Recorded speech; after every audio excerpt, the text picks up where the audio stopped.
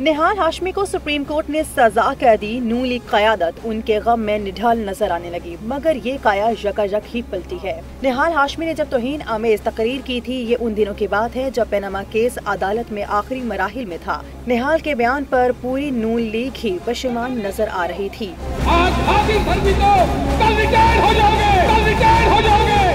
سرکاری ترجمان مریم اورنگ زیب نے فوری طور پر اس بیان سے اعلان لا تعلقی اور اسے نہال ہاشمی کا ذاتی خیال قرار دے دیا۔ مریم نواز نے تو نہال ہاشمی کے اس بیان کو سازش قرار دے کر ان کا کیس خراب کرنے کی بھونڈی سازش قرار دے دیا۔ نون لیگ کے قائد میاں محمد نواز شریف اس قدر تل ملائے کہ انہوں نے فوری طور پر نہال ہاشمی سے سینٹ کی نشست سے استعفیٰ طلب کر لیا۔ کیا گیا ہے؟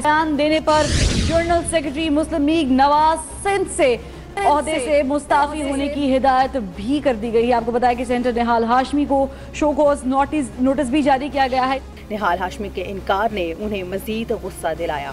پینما کیس کا فیصلہ شریف فیملی کے خلاف آیا تو جکا جکا نحال ہاشمی زیرو سے ہیرو ہو گئے۔ نحال کے جس بیان کو پارٹی قیادت و والد جان سمجھ رہی تھی وہی اب ان کا وظیفہ صبح و شام بن گیا۔ توہین عدالت کی سزا ہے۔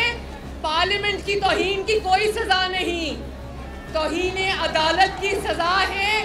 آپ کے ووٹ کی توہین کی کوئی سزا نہیں۔ کس کس کو نااہل کرو گے؟